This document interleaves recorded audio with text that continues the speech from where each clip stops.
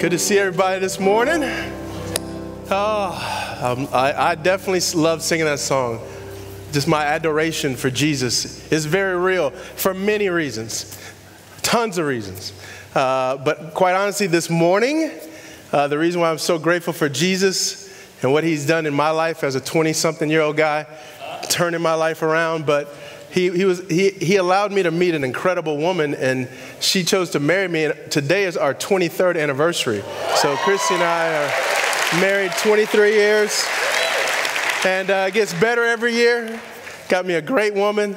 She even surprised me and took me to the Maxwell concert. Oh, yes. If you under 30, you don't know who Maxwell is. That's okay. But if you over 30, you know, you know, the, you know the vibe I'm talking about, right? Yeah. So, and he's still cool. He still got it. It was a good concert. So uh, we had a great time. Love, love it. Uh, but y'all aren't here to hear about my personal life and about, you know, the concerts I've been going to.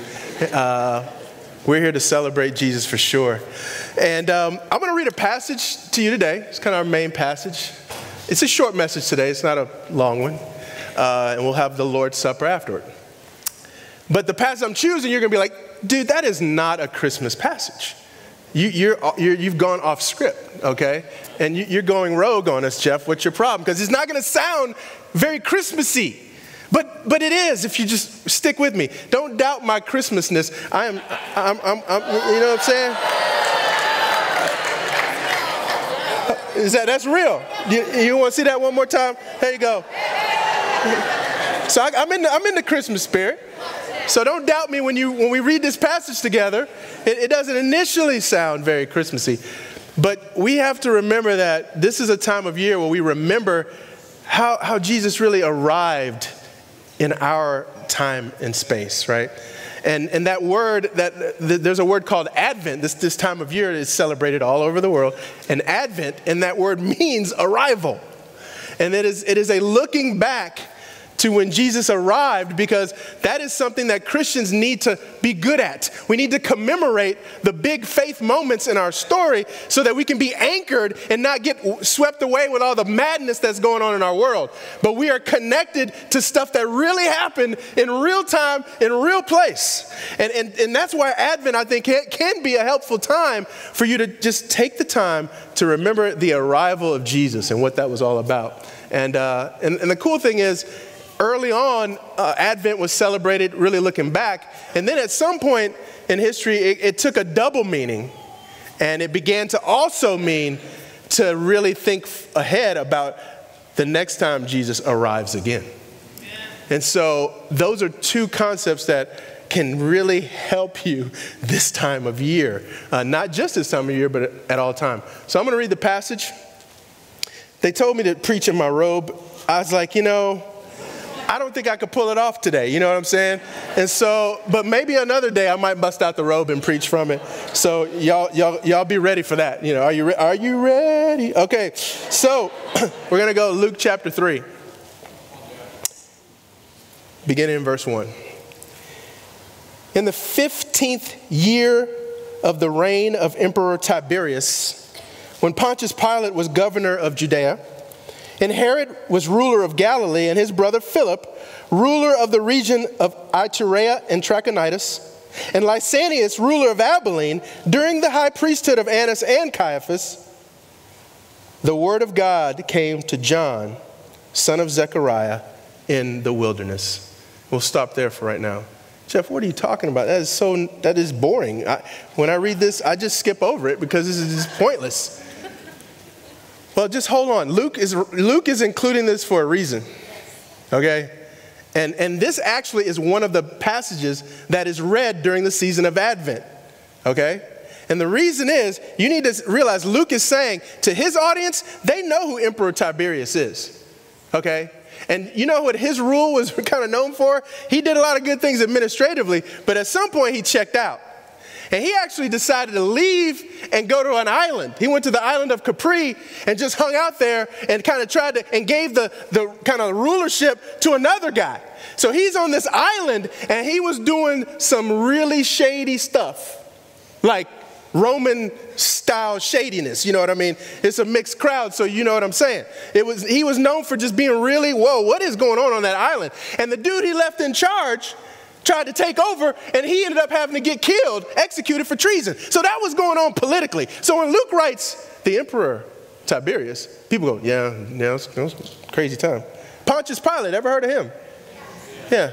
Pontius Pilate, you, it, it didn't just start with Jesus. There was some stuff that happened before he interacted with Jesus that wasn't good. And that was one of the reasons he was kind of afraid to, he didn't know what to do because he'd messed up before. He was not well liked, really not by too many. We know Herod, Herod, that fox, I mean, just, uh, oh, there's so many bad rulers. And so you look and you go, what is Luke trying to say? He goes, yeah, there was political chaos going on. Can anyone relate to political chaos?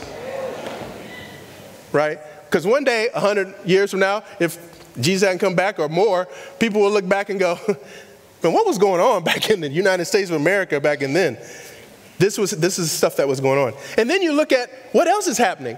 You got the promised land. You got the people finally in the promised land. They're, they're, they're, they're there. But what's wrong? You, you, yeah, this guy's over this region, this guy's over that region. You know what's wrong? Is a foreign army has come in, another empire, taken your land, and then dividing it up amongst themselves, putting people in charge they want to be in charge. Imagine if that happened in this country. Some other foreign power take over this country. Oh, yeah, Tennessee and Georgia, we give it to this, my cousin. I'm going to let him rule over there. Uh, just craziness. So the people are feeling like, man, our, our, our government is jacked up. They, they, they've jacked up our land. We don't even have control over where we live, and they're taxing us like crazy. And not only is the political situation bad, you find out that there's two high priests. Ain't supposed to be two high priests. Luke put that in there for a reason. Why are there two high priests? High priest means only one. There's two. Why? Because the Romans came in and said, you know, I'm gonna take, I'm gonna take Annas out, I'm gonna put another person in, Caiaphas. So you got the Romans meddling into their religious life. This was a dark time in real history. And so, what are we supposed to do with this? Luke is saying, I'm just painting a picture. Remember that time? Yeah, this is the time, but guess what? Guess what? Are you supposed to despair? No, because the word of God came to John. God's word still came to someone who was willing to speak God's word into the political chaos, into the religious chaos. God's word arrived, and therefore we can have hope and we can have joy. And what was that message, right? You go, oh yeah, it was a, you know, a message of joy. Well, what does he say? In verse 3, he went around into all the region of Judea, Jordan, proclaiming a baptism of repentance for the forgiveness of sins. As it is written in the book of the words of the prophet Isaiah, the voice of one crying out in the wilderness, Prepare the way of the Lord, make his paths straight. Every valley shall be filled, and every mountain and hill shall be made low, and the crooked shall be made straight, and the rough made smooth, and all flesh, all flesh shall see the salvation of the Lord. The salvation, the rescue, the deliverance. That's what that word means.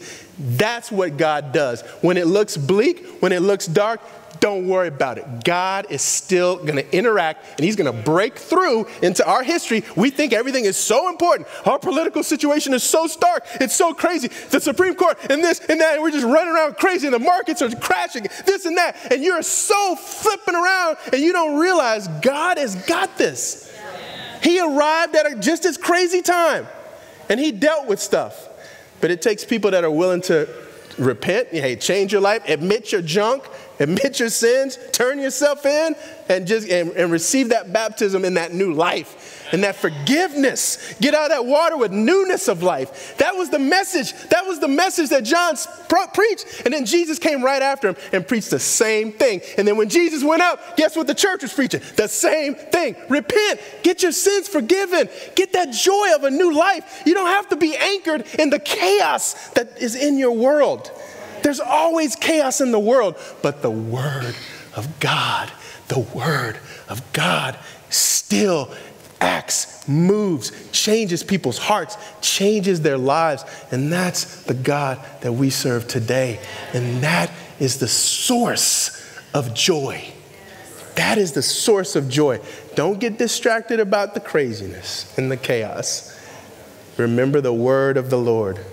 And Jesus was the word in the flesh, you know, amen. And so, what we're gonna do, I'm gonna say a prayer. We're gonna take the Lord's Supper together, and we will continue to worship God. Let's pray. Father, we are grateful for this opportunity. We are grateful that when we pray, we're not just saying words that just go up to the ceiling and fall down. We, we just know that you are real. You exist, Father. And you have, you have broken into human history in unique ways. With Mary carrying Jesus in her womb, a young woman, he comes out a little baby, but grows and teaches and preaches and dies and raises again and is coming back. We look back to that moment when he came and we look ahead to when he arrives again. Help us through the chaos, Lord. Help us not to be people that are anxious and flying around all freaked out about the way the world is, but help us know that you are real and you interact with this life. Thank you for Jesus and his life. We take this bread that represents his body. We take this juice that represents the blood that he shed. We take it into our bodies and we remember Jesus and we can't wait for his arrival again. It's in his name we pray. Amen.